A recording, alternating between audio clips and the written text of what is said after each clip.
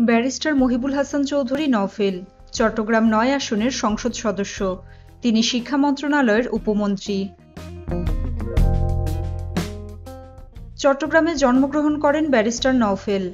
রাজনৈতিক পরিবারে বেড়ে ওঠা নওফেলের তার বাবা প্রয়াত রাজনীতিবিদ A B M Mohiuddin Chowdhury. তিনি চট্টগ্রামের সাবেক mayor.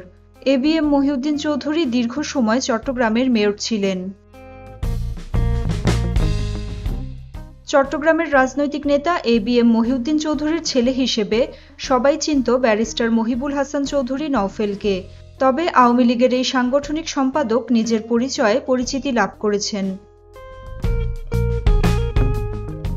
কেন্দ্রীয় যুবলীগের সদস্য ও চট্টগ্রাম মহানগর আওয়ামী লীগের কার্যনির্বাহী সদস্য পদে থাকা অবস্থায় মহিউদ্দিন চৌধুরীর জ্যেষ্ঠ ছেলে ব্যারিস্টার নওফেল প্রধানমন্ত্রী শেখ হাসিনার দৃষ্টি আকর্ষণ করেন।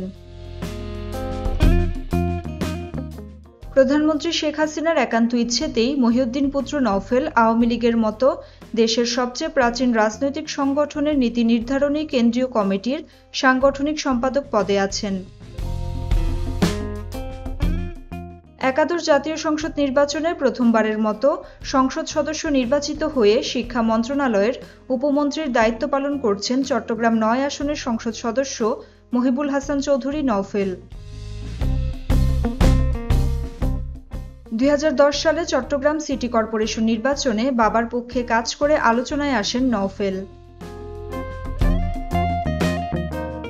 দুই হাজার চোদ্দ সালে আওয়ামী লীগের নগর কমিটির নির্বাহী সদস্য করা হয় নওফেলকে। যুক্ত ছিলেন যুবলীগের রাজনীতির সাথেও।